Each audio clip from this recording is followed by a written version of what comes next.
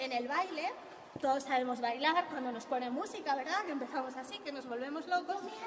Pero el secreto del baile es dominar el cuerpo, saber cuándo quiero mover solo la cabeza, cuándo quiero mover solo el brazo, cuándo quiero meter y sacar pecho y sobre todo, cuándo tengo que mover solo las caderas, ¿vale? Entonces, vamos a calentar un poquito para aprender a mover solo el brazo, para aprender a mover solo la cadera y para coger un poquito de fuerza en las rodillas y en los tobillos y sobre todo que no nos lesionemos, ¿vale?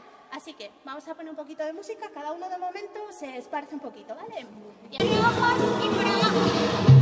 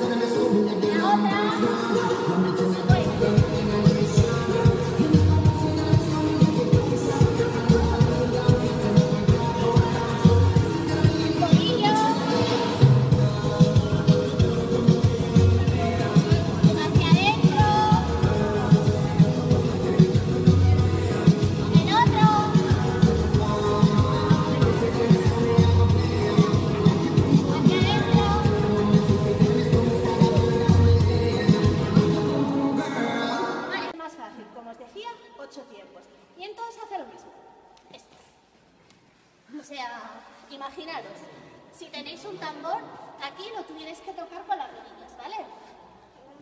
Es mejor empezar primero con las rodillas que no con la cadera.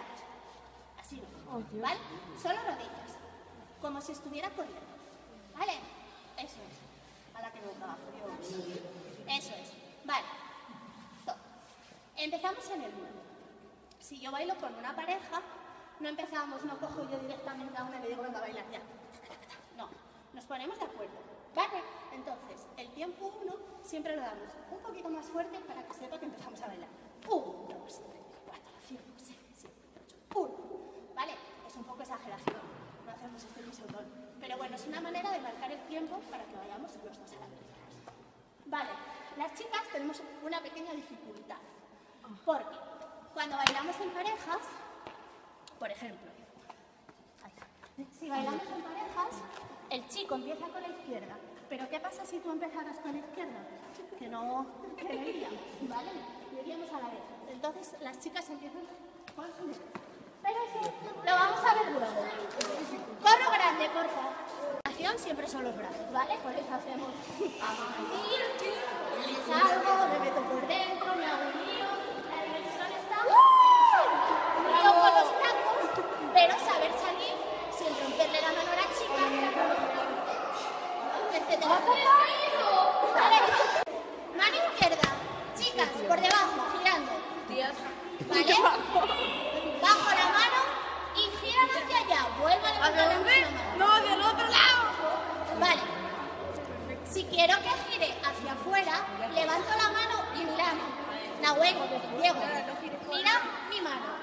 la hacia afuera para que no le quede otro remedio. Si quiero que gire hacia, hacia adentro, la llevo hacia adentro. Exacto. Y no hacia adelante.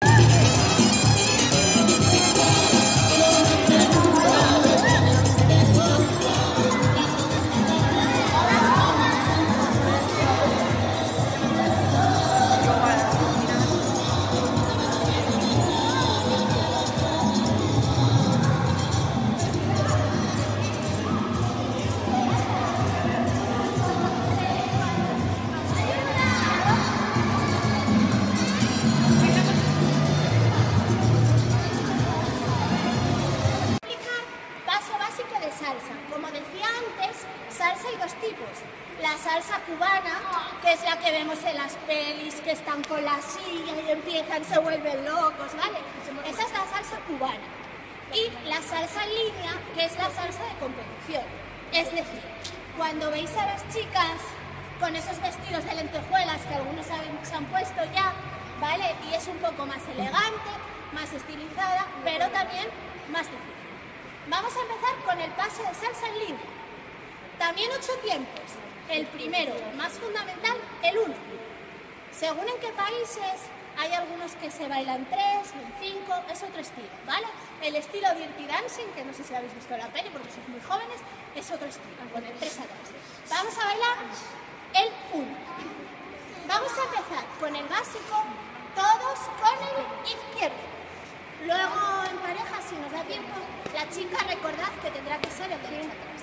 Vale, lo voy a hacer una vez. Ocho tiempos de salsa. En el uno, el izquierdo adelante. Un, dos, tres, cuatro, descanso. Cinco, derecha atrás. Cinco, seis, siete, ocho, descanso. Es decir, hay ocho tiempos, pero cuatro y el ocho, aunque no se cuenten, se respetan. Hay que hacer cambio de peso, es decir, no puedo hacer esto. Uno, cinco, ¿vale? Porque si no, no se ve el movimiento y la cadencia. Cambio de peso, como si me estuviera balanceando. Uno, que me caigo. Dos, junto. Atrás lo mismo. Cinco, sí. ¿vale? Izquierdo, levanto y junto. Derecho, levanto, junto. Izquierdo, levanto, junto. Derecho, ¿vale? Esto sería 1, 2, 3, 5, 6, 7. 1, 2, 3, 5, 6, 7. Es, es, bueno, hay que hacerle el truquillo porque luego va muy rápido. Vale, vamos a hacer como en el calentamiento. 1, 2, 3, 5, 6, 7. 1, 2, 3, 5, 6, 7. Importante el cambio de peso porque si no, me trabo y ya no me acuerdo dónde voy. Izquierdo. 1, 2, 3. Me quedo atrás. 7.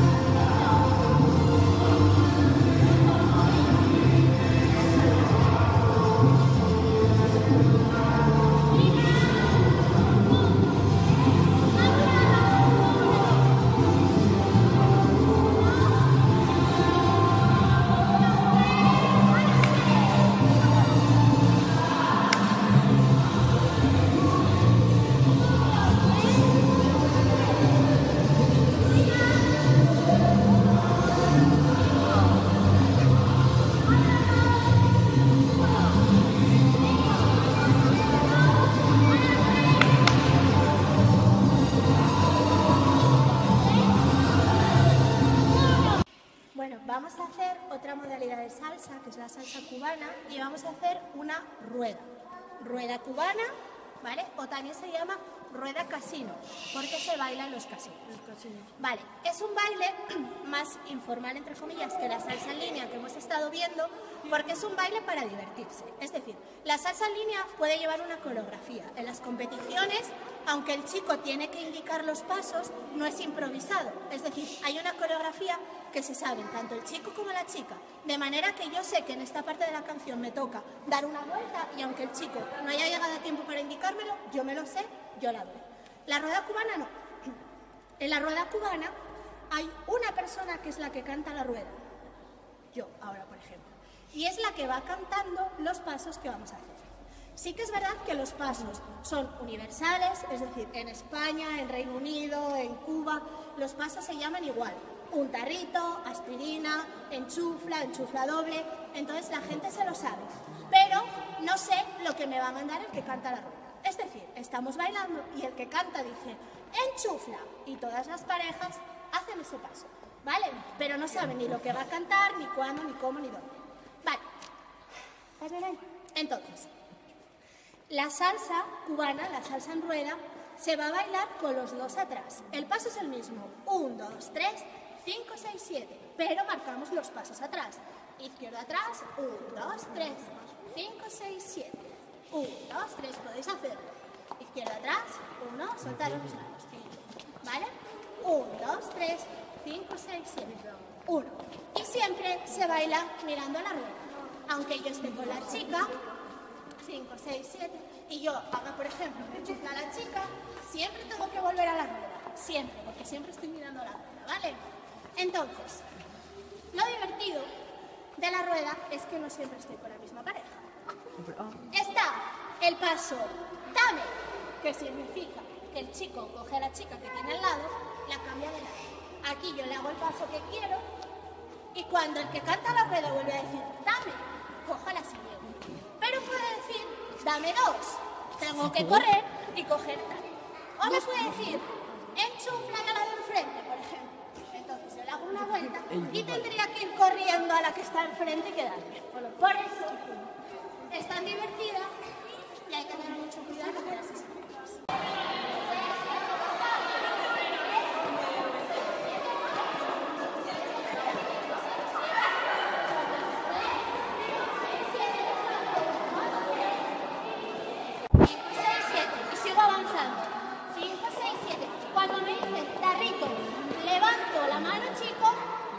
por debajo